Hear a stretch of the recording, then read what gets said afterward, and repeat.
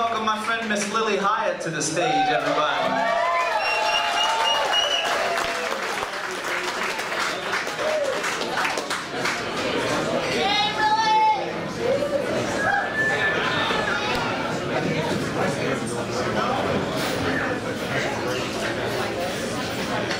Man, I was, uh, To, I was very lucky to get to play some gigs with Lilly Hiatt earlier this year, and she's got a kick-ass record out called Royal Blue that y'all should have if you don't already. And we're gonna play a song off of that tonight called, uh, what's, uh, Jesus would have let me pick the restaurant, man. That's about as kick-ass as it